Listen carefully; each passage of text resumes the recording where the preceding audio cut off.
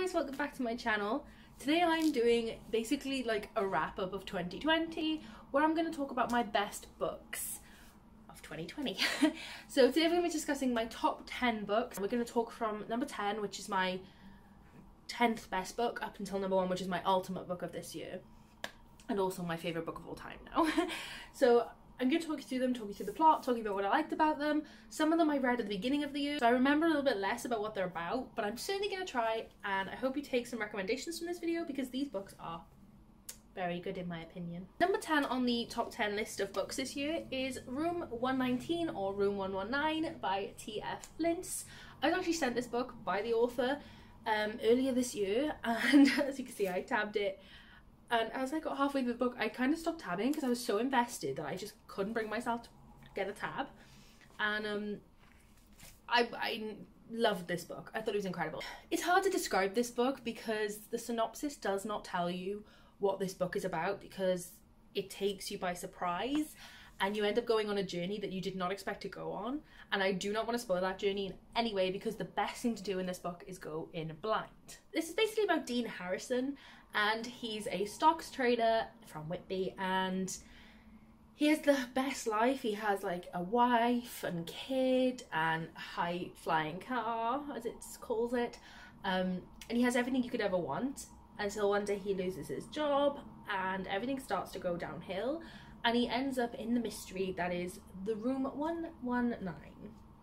And he has to reevaluate his life and goes on a journey to discover the mysteries and secrets. Now, this is a very peculiar and different book, and that synopsis does nothing for this book. It is so good, but you cannot know what makes it so good. Um, I, I adored it. It is a self published book as well, so even better to go pick this up. It is something that keeps your mind going. It is not a book that you can just read and not really think about. You really do get engrossed in the story and trying to discover the mystery. And um, very, very interesting. But as I said, I don't want to talk too much about it because it will spoil it, but I really highly recommend you go read this book. I did do a dedicated review for this book. It's my first ever dedicated review. And I was a bit nervous, but I think I did okay. So if you want to go check that video and find out more about it, it is spoiler free and you can go and check that out there. Number nine on this list is Before the Coffee Gets Cold. Now this is a collection of short stories, but they're not short stories. They all revolve around this cafe following four, I think, different people in this cafe and their journey in a time traveling cafe that you can go back in time or forward in time, but this one book focuses on going back in time to meet anybody who'd already been into the cafe. So we follow four different stories, but they all are combined into one big story. It's not like a short story collection where you have a different story. It's how do I explain this? It's just four people, but they all tie together. And that's what I really liked about this book is everything you're reading ends up tying together at the end into like a nice parcel and it's very satisfying. But this was so heart-wrenching. Once again, it's the kind of book that there's nothing to say other than it's a time traveling cafe. Uh, this is translated works and the writing is beautiful. It is definitely more of a um, character driven story than a plot driven story, which is not usually my cup of tea, but it is so, so good. I really, really enjoyed it. I've read the sequel since and I love the sequel just as much. I think that one's Before the Coffee Gets Cold, Tales from the Cafe. That one focuses as well on the future. If you have not read this, it is a really, really quick, short read. I would highly recommend you do so because it's the perfect story to just kind of lose yourself in and have a couple of hours away from the real world, which is perfect right now. And if you're interested in reading something that's really unique and not something that you see in a lot of books, this is definitely the read for you. As I uh, nothing much can be said about this, so like I know it's a really short explanation, but I just really enjoyed the time reading it. I enjoyed being out of the world for a little while because I read it during lockdown, the first one, and it was just it was just magical. Number eight on my list is quite a funny one. Not obviously these books weren't published in 2020, so you're all gonna think to yourself, okay. The Selection by Kiera Cass. And by this I kind of mean like the first three books in the series. I like the last two too, but mainly the first three. I read this for the first time this year, expecting not to like it because I thought everybody who likes it is having the nostalgia of them as a teen. I loved it. I really loved it. The story premise of this is when it, for the prince wants to get married, there is a selection where girls are chosen, and I believe twelve um, compete to win the prince's heart. So they all move to the ca- the castle. I suppose so. They all move to the palace, and they get to have individual dates. It's kind of like The Bachelor, um, but with royalty. And we follow America Singer. I hate that name so much. As she dates Maxon and her storyline developing with him in maybe an attempt to win the competition. Don't want to spoil too much, but this was a good book. now I was embarrassed at first that I was giving this a five star because I was like, oh, oh, that that's not something I would usually rate five star, but I have no qualms. It was perfection. I had the best time. I felt good after reading it. I the second one made me cry. The Elite. It made me sob my eyes out. Um, there's not much to be said other than this is a cult favorite, and that's for a reason. And if you think to yourself, "Oh well, I didn't read this as a teenager, so I'm not gonna like it now," give it a chance. Give it a chance. I would never have picked this up if it wasn't like six pound in the works. But I'm so glad that I did because I have no regrets. Zero regrets. I cannot wait to reread this series. Perfection. I've not read all the spin off books um, or any of a Kiera Cass's other works, like Betrothed or anything, but they do not have good reviews. So I'm a little bit nervous to go ahead and read all those, but I'm gonna have to because I need more content from Kiera Cass. Like, the writing style is just there for me. Number seven on this list is The Seven Husbands of Evelyn Hugo. Seven, seven, that's good, isn't it? Didn't plan that. but this is about Evelyn Hugo, who is a very famous Hollywood actress. And she's getting older, and so she decides to contact a reporter known as Monique. Monique's a little bit confused because she's not a very big reporter, like, she's only small, she works for a company. Um, but Seven, Evelyn Hugo contacts her and says, I will only share my story if you are the one to tell it. We go through the story of following Evelyn telling Monique about her life and why she had seven husbands, which is a big question that everybody would like to know is what happened in her life, why did she have seven husbands, what went wrong in these marriages, what was right in these marriages. It's a sapphic book, it has a twist in it that was really enjoyable. And I think that a lot of people don't give this a chance because they've seen the hype it gets on booktube and I completely understand that booktube books are often overhyped. Um, to be honest, I wouldn't have picked it up if it wasn't so hyped. But I am really glad I did. I just didn't expect what I got from this story. I read it in one sitting. I I just sat there and I couldn't get myself out of it, even though I only wanted to read like a chapter or two. It is based from Los Angeles in 1950s to the 1980s. Um, so obviously it's like not a world she's built, but she does a really good job of describing this world that it's not really a world she did a really good job of describing this time period and I felt like I was there and being part of the glitz and glam of Evelyn Hugo's life. I was obsessed with Evelyn Hugo. Like I'm a fan of a fictional character now. Like I really love her. And I just think Taylor Jenkins Reid has a talent. Like I read Daisy Jones and the Six. I gave it a four star. I didn't adore it, but I really did like it. Both books, the writing style is just very unique and different. So if you think to yourself, I'm not really willing to give this a go because of the hype, I think it is deserving of the hype, and I think it's a lot more than the basic story that you think it's going to be. And if you gave it a chance, you'd probably love it. Um, I'm sure there's people who would disagree, but it was definitely there for me. Number six on this list is The Cruel Prince by Holly Black. Obviously, again, another booktube favourite from a long time ago, which I never read because I just joined booktube this year. but another story that was really impressive to me this follows Jude and Cardan. Jude is human and her mother was murdered by her sister's father and so had to move with her sister's father to the Fey world. In this Fey world, humans are kind of treated like scum, so she has to fight really hard to be respected. And in her school class is Prince Cardan, um, obviously the son of a king and he is horrible to her. He's like the worst kind of person. He makes me so angry, even though I love him. He makes me so so mad. She basically has to fight to gain respect and not be bullied and targeted by him, um, and also by her father, who's not her father, her stepfather, I suppose, um, adopted father. It's actually a really short series. It's three books, and they're all quite short considering that it's in a brand new world. And I really like fantasy worlds that are based within the real world. So, for example, the human world is there, and you just go over the sea, and it's like in a Fey world. Um, I really like fantasies like that. If you have any recommendations of fantasies like that, please let me know because I really do like them. And it makes me comprehend the idea of it a little bit easier. And so this was really, really easy to read, especially for a fantasy. It just kind of felt like it was on human earth, but with a little bit of touch of magic. I really liked the world building. There is a map. The map is very nice. It's Elfhame. I really like looking at all the uh, buildings and all the castles. Anyway, and each book in the series is based, like The Wicked King is based underwater, and that's really, really cool, for a lot of it anyway. And that's really, really cool to me.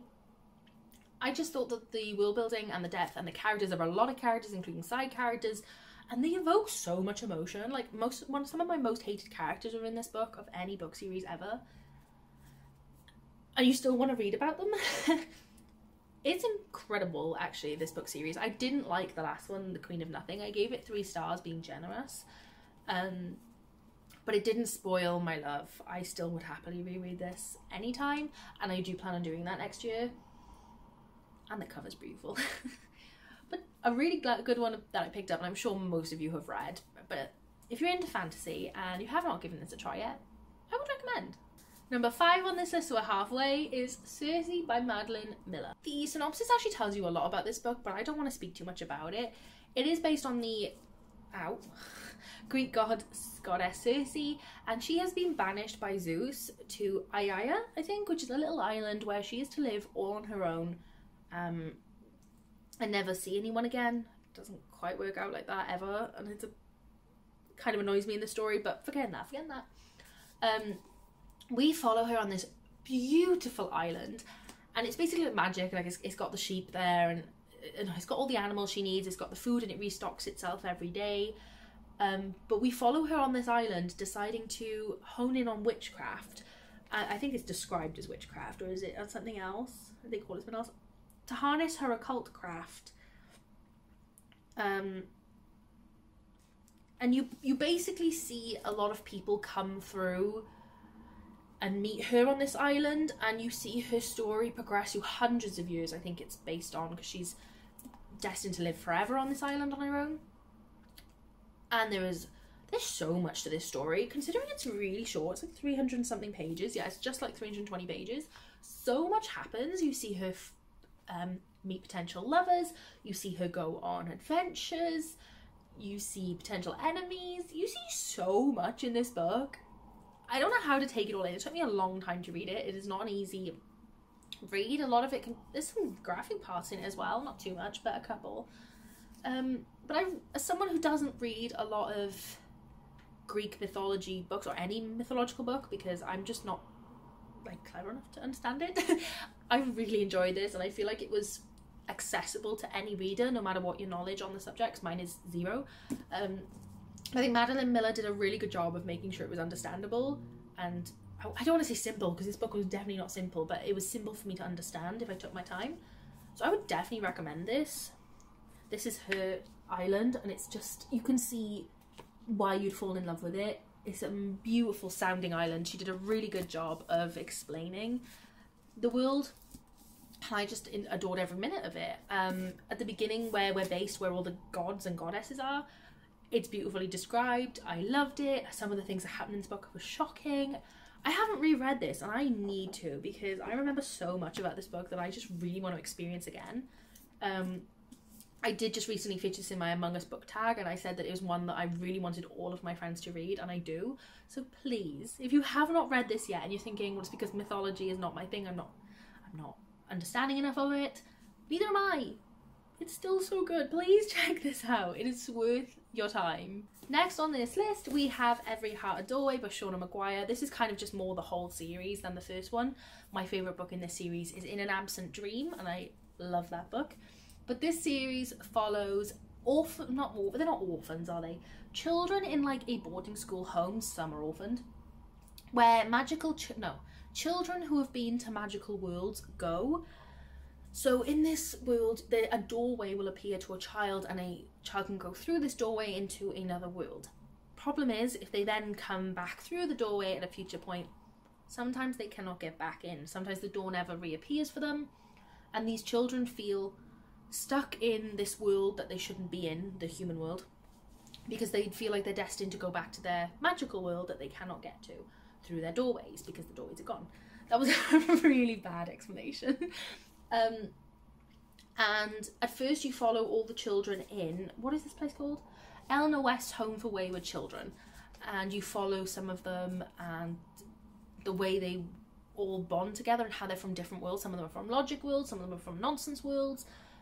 The best thing about this series is the world building. Like every world is so different and so cool, and I'm really excited to see the different concepts that this series develops because I think it has like a never-ending possibility. That I could never get bored because every world is so different. This book's kind of like I gave it a five star and I adored it, but this book is not a good enough representation of the series because this book is mostly is it does take part in our world, like the, the normal current world, but every other book is just so magical, based in loads of different worlds, and that's the best part of this series. But if you don't love this, try and get the next, try and get through the next one or the next two or three, and they're only short. I mean, it doesn't take you that long. That's another thing. The audiobooks are like five hours. It takes no time at all. Trust me, it's a really good read. And I, they, they're not. I thought they were like children friendly. I don't know why I thought that. They're not. I mean, they're not explicit, but they're not children friendly like I initially thought. So try and check this series out. I mean, they're short and they're fun and they're sweet. What more can you want? It's an easy read. It's perfect for readathons. So now we're into the top three. Number three is Heartstopper by Alice Oseman. This is a graphic novel and there's currently three in the series.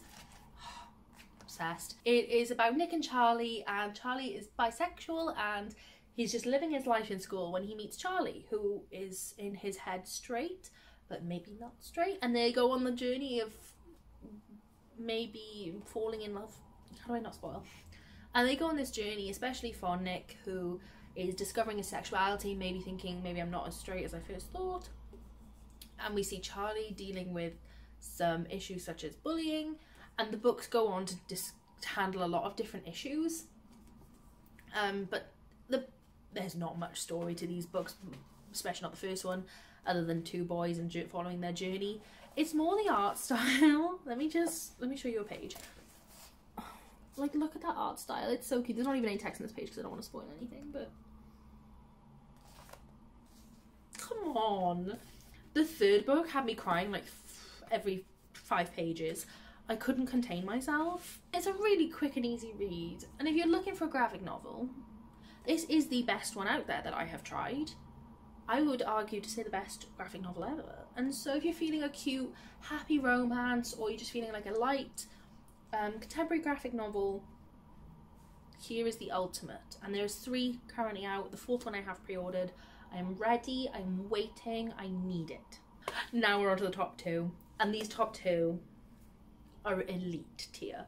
So at second place, didn't quite make it to first, is Kingdom of the Wicked by Kerri Maniscalco. Just released. Like it's a very new release and um I have two copies, which is the first ever book that I've kept two copies of. But that is because one is the beautiful Fairy Loot copy, and this one is the one that I read and tapped. Um, it's a little much. It, it is a little much. I read this last month when it released, and I plan on reading it again this month. Maybe next month, we'll see. Um, but this book follows two witches in a witch, well, no, it follows a witch who is from a family of witches, and they have to keep themselves quiet, obviously, because people don't respect, respond to witchcraft very well. And then, what's the name of our protagonist? Ooh. Amelia. Amelia's twin sister, twin? Yeah. Amelia's twin sister, Vittoria, doesn't come home one day, and so she goes plodding along looking for her and finds her murdered. And hanging over her body is one of the princes of Hell, Wrath.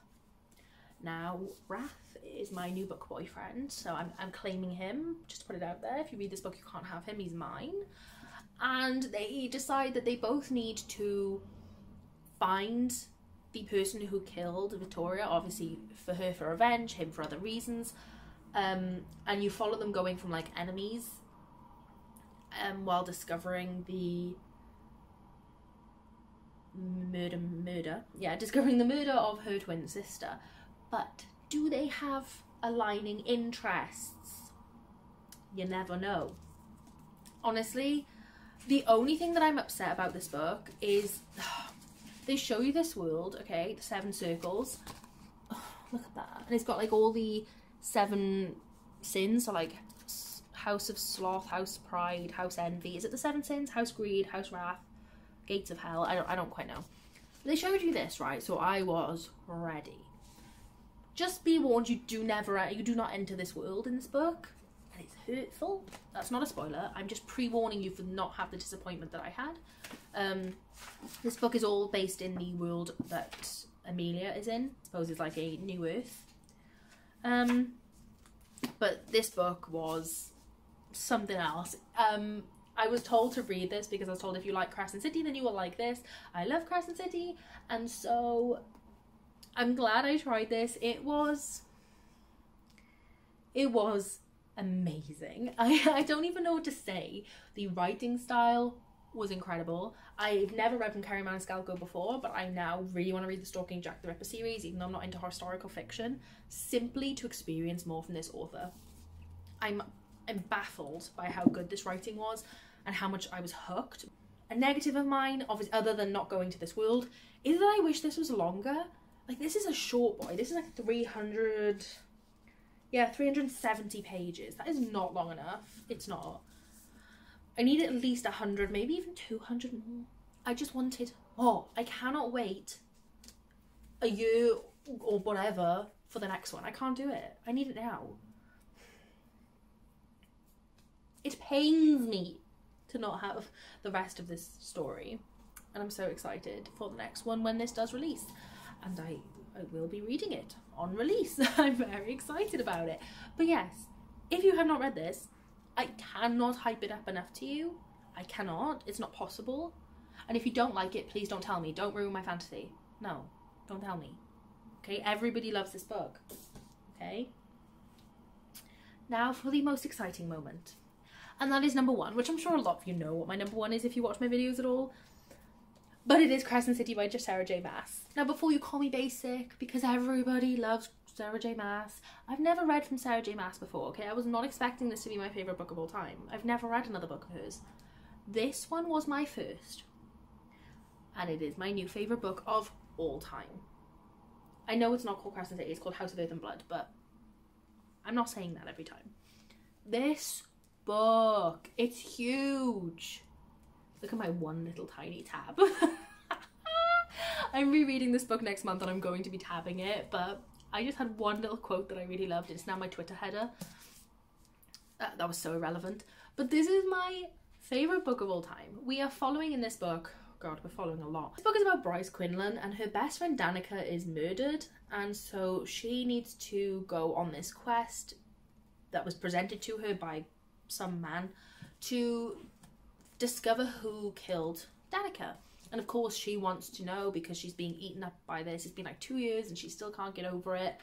Um, and so she's partnered up with Hunt Athalar, who is there as well for her to discover the murder mystery.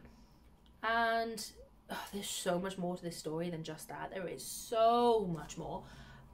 But you have to read it to find out what goes on. And every time I thought I knew what was going to happen, I did not. I would I would never have guessed this ending.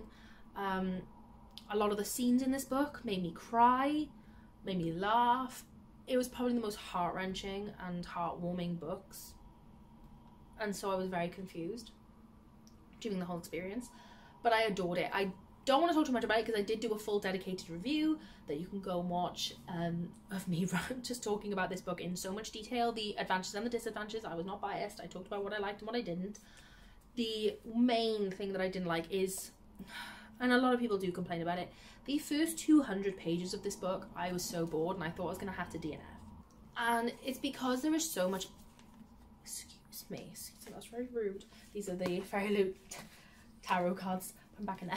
Um, it it was info dumping. It was, and um, I can understand why people put it down and don't pick it back up because I almost did myself. But I'm so glad I carried through.